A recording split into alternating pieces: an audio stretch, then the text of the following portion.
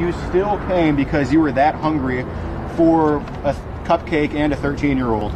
Should should we just call you the horny horny hippo or what? Yeah, you guys can call me whatever